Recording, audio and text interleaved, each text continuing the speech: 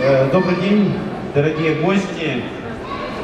Э, сегодня у нас э, презентация очень интересного проекта. Вот, наш фестиваль, общероссийский фестиваль «Первозданная Россия», который самый путешествующий фестиваль. Я сразу скажу, что он в 70 странах мира за прошлый год побывал. Но не знаю, что в этом году будет. Все от вас зависит. Э, я думаю, что кто не, не знает, те увидят, что кроме фотографий здесь э, интересный кинофестиваль проходит «Природа на ладони» и «Разумный кинематограф», два, получается, кинофестиваля. Ну, конечно же, изделия народных промыслов и мастер-классы. Сегодня у нас очень интересный проект, интересный автор. Вот презентация этого проекта. Каждый из нас, конечно же, с горечью в горле порой проезжает мимо потерянных деревень. Это везде, это не только Подмосковье, это и центральная Россия, это можно увидеть и в далекой Сибири. И вот фотограф наш Алексей Карин, который действительно душой болеет э, за тему возрождения деревень. Вот он перед вами, Алексей Анатольевич. Можете поприветствовать его?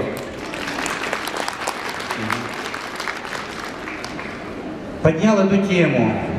Вот. Э, и на самом деле я думаю, что мы эту тему будем и дальше ее серьезно доводить до всех граждан России, до общественности, до меценатов. Потому что тема восстановления потерянных деревень, тема восстановления потерянных храмов и приходов, она для первозданной России, она важна. Поэтому не случайно у нас здесь э, находятся представители и Русской Православной Церкви, и здесь у нас находятся представители администрации президента, и не просто представители, здесь у нас находится вместе с вами директор департамента по связям с религиозными организациями Еремин Евгений Владимирович. Здесь же находится главный советник по этим вопросам администрации президента Терентьев Александр Александрович. Вот, э, я думаю, что здесь у нас как раз вот интересный разговор, мы призываем и вас тоже, в общем-то, здесь э, не просто, в общем-то, послушать, но мы ждем и диалога от вас в этом случае, потому что проблема важна. Ну что ж, наверное, что рассказывать? Давайте начнем. Не вначале хотелось бы просто буквально предоставить короткое совершенно слово руководителю э, департамента администрации президента по связям с религиозными организациями Евгению Владимировичу Еремину. Пожалуйста, Евгений Владимирович. Спасибо. Здравствуйте, дорогие друзья. Рад вас приветствовать на такой замечательной выставке.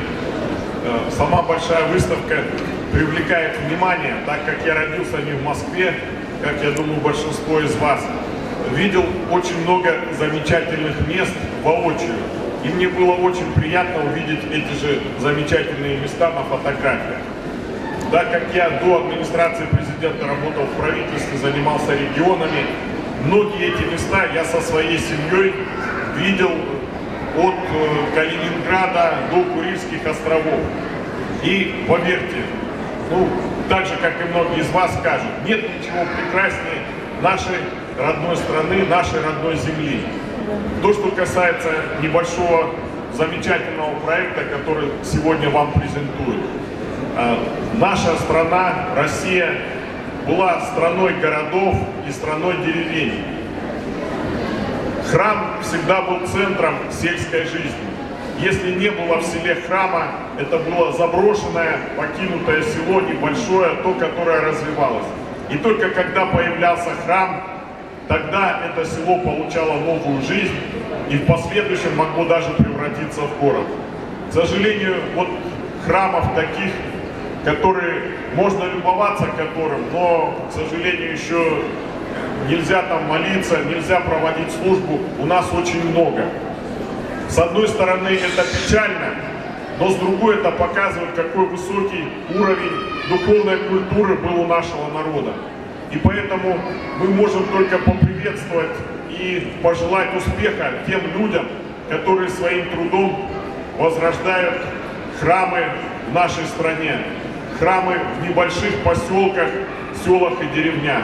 Таким людям должен быть почет и слава. Конечно, государство много делает для развития духовной жизни. Мы помогаем э, Русской Православной Церкви, другим религиозным организациям нашей страны, помогаем в сохранении тех памятников, которые являются памятниками федерального значения. Но так как государство светское, возрождение таких храмов, которые наиболее близки народу, это дело как раз тех людей, которые отдают себя, свои средства, свой труд для того, чтобы сохранить духовную память для народа, сделать в селе такой очаг духовной культуры. Я думаю, каждый из нас, не надеясь ни на государство, ни на большие организации, будет вносить свой вклад и брать пример с тех людей, которые своим трудом не только воссоздают, восстанавливают эти храмы, но показывают нам их прелесть и призывают нас к этому. Спасибо. Спасибо, Евгений Владимирович. Спасибо. Ну, а сейчас мне хотелось бы слово предоставить автору. О себе он все расскажет, я думаю, э, и расскажет о своих замечательных фотографиях и успехах. Пожалуйста. Спасибо, Олег Евгеньевич. Добрый день всем присутствующим. Спасибо, что вы пришли. Э, ну, сразу скажу, что я не являюсь профессиональным фотографом. Это не моя специальность, но тем не менее, э, может быть, вы уже мои фотографии видели. Вы знаете, ну, мне, как и большинству присутствующих здесь, а я вижу все-таки здесь больше, к сожалению, наверное, более старшего поколения, э, внушали, что бытие определяет сознание. Но правда это происходит до тех пор, пока сознание не начинает осознавать, что вообще-то бытие надо бы менять. И вот в этот момент начинаешь смотреть и думать, а как же это все изменить и как это происходит. И вот этот проект, соответственно, он, собственно говоря, так и появился. Материалы для него собирались в течение ну, более 10 лет. Здесь самая старая фотография 2003 года, последняя снята летом 2014 года. В основном я фотографирую природу, но фотографируя природу и, и проезжая по многим местам, Подмосковье или там чуть дальше, Ярославская область, Тверская, там разные области, всегда видишь, что едешь, едешь по дороге, вдруг видишь где-то вдали э, либо церковь, либо какая-то рощица стоит. И почти наверняка вы понимаете, что в этом месте должна быть деревня. Но, к сожалению, туда подъезжаешь, а кроме рощицы ничего нет. Есть рощицы, иногда храмы, а больше уже ничего нет. И поэтому, собственно говоря, жители ушли, и наша могучая первозданная Россия, первозданная природа потихонечку это поглощает. Э, я считаю, что фотография художественная – это вообще совершенно отдельный вид искусства, который должен через фотографию показать э, какую-то эмоцию. И надеюсь, что если эти фотографии вызвали в вас эмоцию сострадания и желание хотя бы это сначала увидеть, самим съездить, посмотреть, а потом, ну, уж совсем было бы сильно, если вы что-то для этого сделаете, ну тогда я считаю, что достиг своего результата. Благодаря, ну вот наши предки очень удачно всегда вписывали свое жилье и свою жизнь в природу. И э, это мне помогало всегда фотография. Соответственно, ну, здесь вот эта первая фотография, она является, ну, на мой взгляд, такой основной, которая показывает, как я бы видел, что должны возрождаться наши деревни. Но дальше, соответственно, чем дальше от Москвы сейчас едешь, тем больше обнаруживаешь, что в основном это все-таки пустые места. И от некоторых деревень вообще остались только даже уже не храмы и не рощи, а памятные кресты. Это наши с вами соотечественники обнаруживают такие и ушедшие, исчезнувшие полностью деревни и ставят крест. То есть едешь в поле, и там стоит крест. Не думайте, что это кто-то здесь похоронен. Здесь исчезла деревня. А представьте себе, вот такая церковь, или, пожалуйста, следующий слайд. Вот такая церковь. Ведь для того, чтобы построить эту церковь, нужно было огромное количество народа просто. Вы же это значит большие деньги, большое количество народу. И они все жили там. Сейчас их нет. Вот, например, эта церковь, это, соответственно, сейчас уточню, 811 года постройки. И в Ярославской области, и для нее деньги дал крестьянин. Вот крестьянин дал деньги на постройку этой церкви. Вот этой церкви сейчас повезло. Рядом с ней проложили дорогу и э, начали строить какой-то животноводческий комплекс. Появились люди. Но церковь, скорее всего, не будет работать. Она 80 лет закрыта. Почему? Ну потому что просто людей не хватит на все. Но может быть хотя бы приедут туда люди жить, и это место возродится. Представьте себе, вот жить возле этой рощи, видеть это.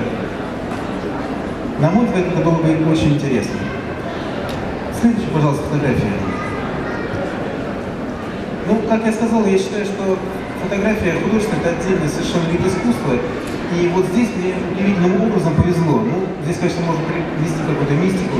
Я ехал специально снимать церкви, и появилось очень редкое явление в наших краях летом – гало. Это нормальное природное явление, один из видов э, радуги, только обычно она зимой у нас бывает. И многие, если будут смотреть на солнце, то ее увидят. Летом я ее, честно говоря, видел всего один раз в жизни и увидел ее здесь. Но посмотрите, как она легла. То есть, если вспомнить наши иконы, да, теперь понятно, почему они так рисовались, почему вот этот нимб. Это не выдумка, это правда. Вот, это снимок там. А на самом деле, это церковь 17 века, деревянная, построена без единого гвоздя. Только, к сожалению, несмотря на то, что она в деревне, ну там, если внимательно посмотреться, внизу видно деревеньку. Служба там проходит всего один раз в год, и ей повезло. День Святого Пантелеимона, кому посвящена эта церковь, там проходит служба. Но любой из вас, если приедет туда, это всего 6 километров от Ростова. По хорошей дороге, не надо никуда пробираться, ничего. Попросит местных товарищей постучить в дверь. Ему покажут великолепный резной алтарь. 600-летние дубы, которым было 600 лет, когда их спиливали для того, чтобы строить эту церковь. Съездите, посмотрите. И, может быть, вы увидите даже более красивее, чем здесь. Дальше, пожалуйста, следующая фотография. Кроме того, мне очень хотелось на этих фотографиях, помимо того, как это выглядит, сейчас, ну, некое такое все-таки запустение, показать, как бы это могло выглядеть, если бы там жили люди. Ну, я думаю, все помнят, да, вот сразу образ «Вечера на хуторе», да, без Диканьки. Вот смотрите, вот это деревня, да, это хутор не Диканька, не буду даже называть, где это, это глубинка такая совсем глухая, Ярославская область. Ближайшее жилье, которое вот там, видите, на вот это желтое, это фонари от э, деревни, которая, по-моему, 8 километров через лес. Непроходимый.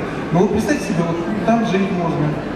Как вот было бы выглядело все у вас если бы там жили люди. Но, к сожалению, здесь люди уже не живут. К сожалению, в селе осталось два дома, в которых только летом появляются люди. Зимой там никого нет. А на зиму даже не просто уезжают, но даже забирают с собой провода электрические для того, чтобы зимой кто-нибудь их без них не увез. Пожалуйста, следующую фотографию. А вот посмотрите, тоже хотелось передать что, для чего я эту фотографию снимал.